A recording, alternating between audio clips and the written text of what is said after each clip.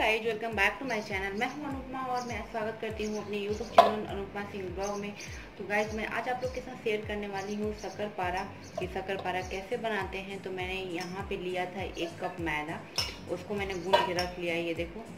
और ये मेरा 10 से 15 मिनट हो गया है और ये देख सकते हैं कितना सॉफ्ट है, बहुत सॉफ्ट है। और इसका मैं शक्कर पारे बना लूँगी मतलब इसको बेल के रोटी जैसा।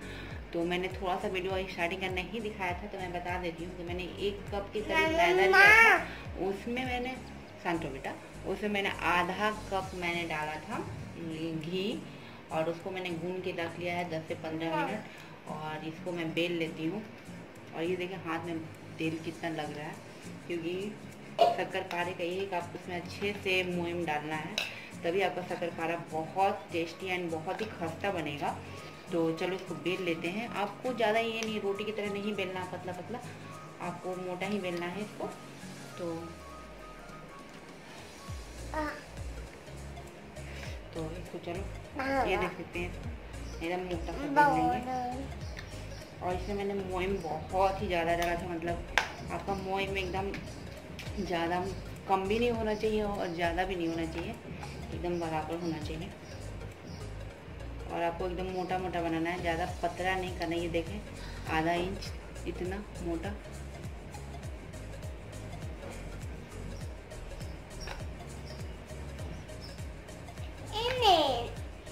तो तो इसको मैं चारों तरफ़ से बराबर कर लूँगी। अब मैं इसको काट लूँगी ये देख सकते हैं कि मैंने इतना मोटा बन रखा है इसको। तो इसको बराबर बराबर काट लेंगे।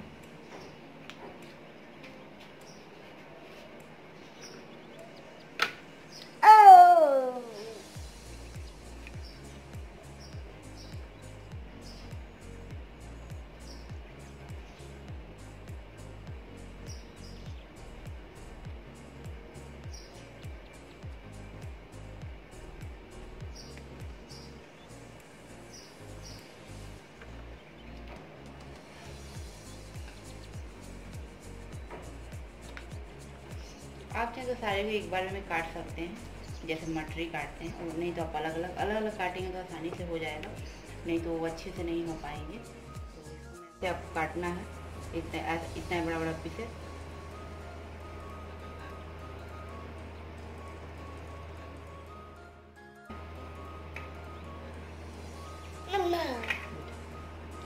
और ऐसे ही आपको सारे कट कर लेना है।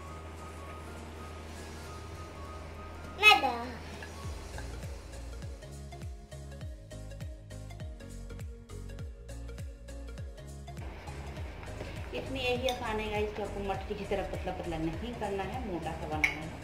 मोटा रोटी बनाना है ये देखो। थोड़ा सा और पतला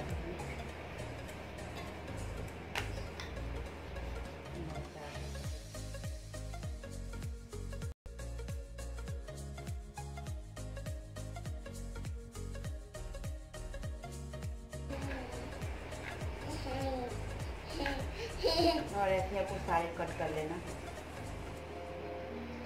एक को कट करोगे ना गाइस तो ज़्यादा आराम रहेगा अच्छे से कट जाएगा पीसेस में। अब मैं इसको तल लूँगी तो चलिए तलते हैं इसको। और कढ़ाई को मैं रख दूँगी, और ये गर्म हो जाएगा। तब मैं इसमें तेल डालूँगी।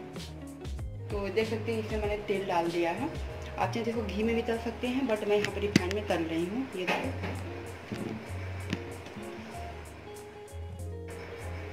ये गर्म हो जाएगा, तब मैं इसमें डालूँगी।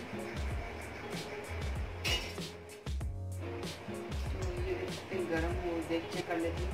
आपको हाई फ्लेम पे तेल को गर्म करना है, फिर आपको मीडियम पे करना है। तो ये पहले चेक कर लेती हूँ।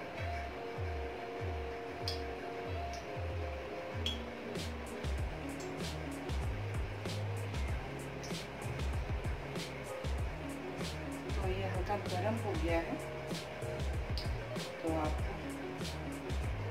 इसमें मैं सारे शक्कर पारे डाल दूँगी।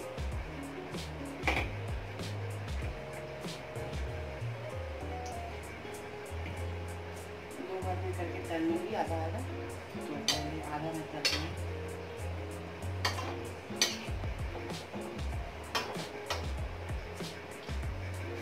को मीडियम रखना है।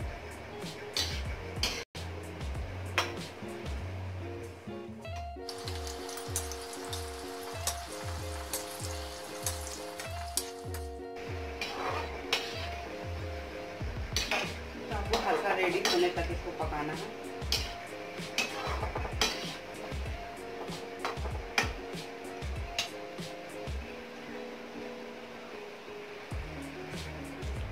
तो गाइस ये देख सकते हैं शकरपानी जो मेरा पक के तैयार हो गया तो मैंने तल लिया है ये। और एक प्लेट में मैं निकाल लूँगी। इसको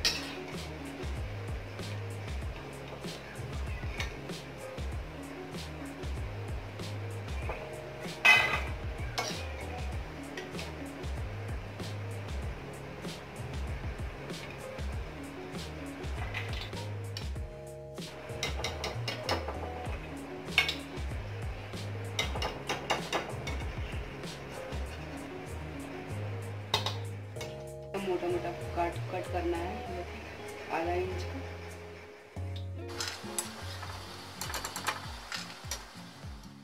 तो गाइस ये देख सकते हैं, मैंने इसको तल लिया है, इसको मैं रख दे रही हूँ। उसके बाद मैं चाशनी अब तैयार करूँगी इसको कोटेड करने के लिए। तो मैंने एक कप शुगर लिया है, ये देखो।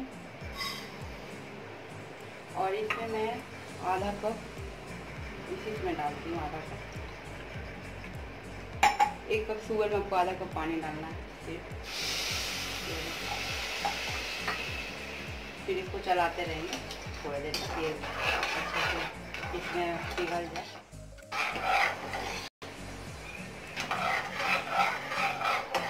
इसका चाहती हैं आपको तीन तार तक बनाना है। इसका लेयर जो होगा, तीन बार आप ऐसे देख सकते हैं, जो लास्ट में ऐसे गिरेगा। तो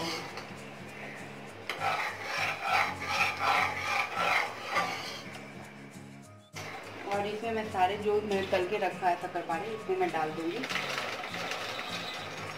और इसको चलाते रहना है, ताकि एक दूसरे में चिपके नहीं। नहीं तो चिपकने लगेगी।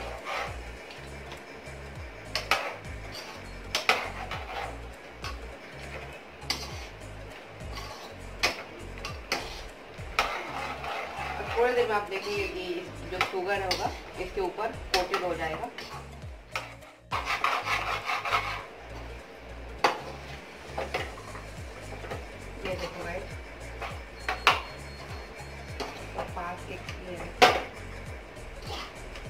देख सकते हैं। कोटेड हो गया।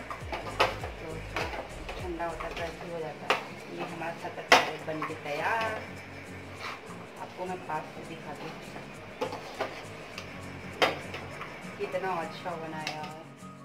और ये देखो, कितना अच्छा बन गया ना। और इसको आपको चलाते रहना है, ये देखो। और आपको ऐसी मैं इसको अलग बर्तन में निकाल लेती हूँ। और ये देखो, कितना अच्छा बना है।